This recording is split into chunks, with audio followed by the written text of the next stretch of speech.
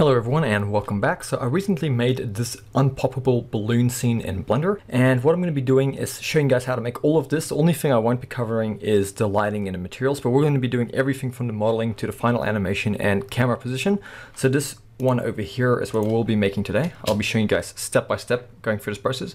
Now, if you guys want to have the lighting and materials, you guys want to see my original scene file, those of you who are on Patreon will be getting this like I always do. I give these scenes to my Patrons and some of my Instagram stuff. And if you don't want to do that, I'll also make it available for $2. So that's all going to be in the description below if you want access to this original one. But if you don't want to do that, you can just stick around and we can just do this scene over here and you can go ahead and do your own lighting and materials. Totally up to you. So let's get started. I think it's going to be a fun one. Okay, so the new scene open up in Blender, go ahead and delete everything. Then go Shift A, go to your mesh options, add in a UV sphere.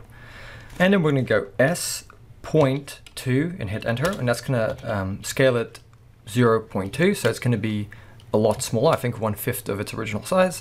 And then we're gonna go Control A and apply the scale. Tab into edit mode, enable your proportional editing, then grab this vertex at the bottom and then go G, Z, and pull this down. And if you roll your middle mouse wheel, you can increase or decrease the proportional um, editing. So I'm going to go down to about here. Then I'm going to select this loop over here and then go Alt S and just scale that in a little bit. Just so we have this shape here. Grab this vertex in the bottom again, disable proportional editing, go Control plus to grow the selection, and then go E, Z to extrude it down, and then S to scale it. And then go um, E, Z, scale it down, then ES, and then EZ again, bring it down a little bit, and then grab this little point here and go G, Z, and just bring it up and there. So we've just made this little thing here. Then we're gonna go add in a subdivision surface modifier and tab out of edit mode. So here is our balloon. We're gonna go to object and enable um, shade smooth.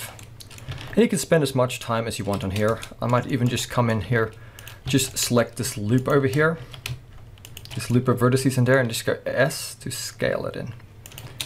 And you guys can spend as much time as you want to make that look realistic. I'm just gonna leave it at that. Then what I'm gonna do is grab this guy and go G, Z and just move it up so it's sitting on our floor here. Then I'm gonna go um, Shift A, add in a plane. And I'm gonna go S, Y and scale this guy in on the Y. Tab into edit mode. And in my right orthographic view, make sure you're in your right view. Go to your edge select, select this guy here and go E, Z, extrude it up. And then E, Y, bring it back a little bit, and then E, Z, just bring it down a little bit. And then we're gonna go Shift D, right click to let go, and then E, Z, and extrude that up. Just like that, and then go A to select all of it, and then S, X, and scale it along the X. Just so we have this nice backdrop. Then we're gonna come here, grab this edge, double G just to slide it forward a little bit, and then E, Z to extrude it down, and then E, Y, move it back a little bit, and we're gonna grab this guy as well and just go G, Y, just move them both back like that, and then grab this edge here and then go Control B and just bevel it like that and roll your middle mouse wheel just to smooth out that corner. Then go to Object, enable Shade Smooth, and go to Object and then enable Edge Split. Just like that. So add a modifier and an edge split. And here we have a nice backdrop and we can also just come in here, grab this edge at the back, shift D, right click to let go and then go E, Y and just extrude it along the Y. So we're just creating this nice scene here. Then I'm going to come over here to my front and kind of to the left of this the scene like this and I'm going to go um, control A and I'm going to add in a camera. Hit zero to go into that camera view, G middle mouse button and I'm just going to pull back. I go to my camera settings and I think for my original one, I'm just gonna have a look over here. Uh, let me see what I did with the camera. I think I made it an orthographic. No, okay, so we're gonna make it a perspective. So come over here with this camera selected, go to your camera settings and we're gonna leave this type on perspective, but we're gonna make the focal length 85 and hit enter. Then we're gonna come here to our output settings and make the Y value here 1920. So that's gonna give us a square aspect ratio. And I'm gonna hit double tap R and hold in shift just to move my camera into viewport here. I'm just going to get a view like this for now. I like that. Maybe rotate a little bit. And what we're going to do now is grab, go to my front view, go Shift D X and move the, a balloon over like this, and then Shift D X, another one. And you could use the array, but I don't see the point because it's just so quick and easy to shift and duplicate. and then Shift D, X, and move one over here. Just so it fills out the space. That looks really good. Let's add in a little poker thing. So what I'm gonna do is go to my right view, orthographic view, and go um, Shift A, add in. We're gonna add in a cone. We're gonna go R90 in our right orthographic view and hit enter to rotate it like this. Then S to scale it. And then we're gonna go G and just bring it over here in front of our balloon, like that. Tab into edit mode, and then we're gonna go to face select, select this face here, and then go G, Y, and just move it forward a little bit, like that. And then what we're gonna do is we're gonna go E to extrude it, and then ES to extrude it in like this. And then we're gonna go Shift D, and then go E, Y, and extrude this out. And then we're gonna go E, S, extrude it in, and then just go E and extrude it out, a bit like that. And then go to Object, enable Shade Smooth, and go here to your modifiers and add in an edge split. So let's have a look at that. So we should see this in our scene. And what we can do is tab into edit mode, grab this edge loop here, just go to edge select, select, just hover over between these two edge loops, go control R to add in a loop cut, double click, and then select this loop here and then hit double G just to slide this in. And that's gonna fix this um, shading issue we have, just to add in a loop over there. And now what we can do is grab this guy, go into our right orthographic view, and what we need to do is just quickly animate it before we do our shape keys here. So I'm going to just quickly look, reference my original scene, just over here on the side, just to see what I did. Okay, so from frame 0 to frame 50. Okay, so what we're going to do is come to frame 0, or frame 1, and frame 1 we're going to go G, Y, and move this guy back here. So we're going to go into our camera view, so it should be roughly there. And we're going to go I and insert a location key. And then we're to come to frame 50. And on frame 50, we're going to go G, Y, and move this guy in to here.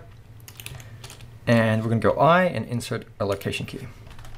And while we're at it, let's just come here to our end frames and make that value 80 and hit enter. Because we're only to be using 80 frames.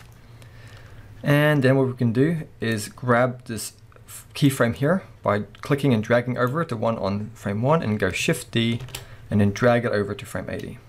So let's have a look at this. Like that.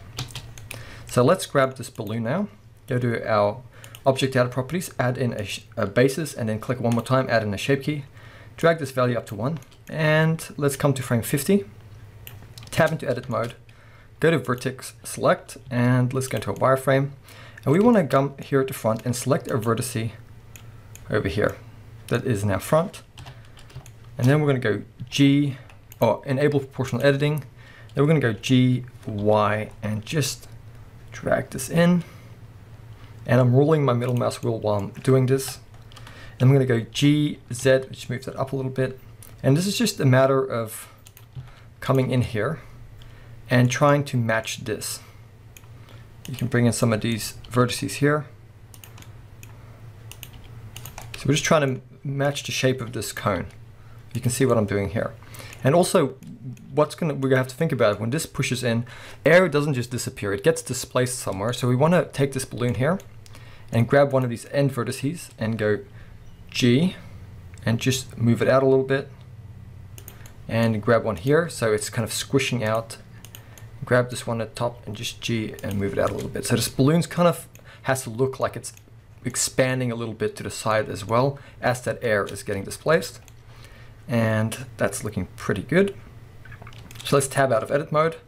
And what we can do is come over here with um, to frame, just go to your right orthographic view. So we want to look at these other balloons, and just as this guy is getting close to the outside of this balloon, this um, edge here, we want to come here to this value of, um, on key 1, we want to make this value 0 on the shape key, and then hit I to insert a keyframe.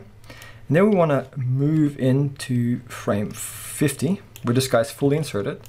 And in frame 50, we want to go and make this value all the way to 1. And then we want to hit I, hovering over this, and have a look at that. So we should see this.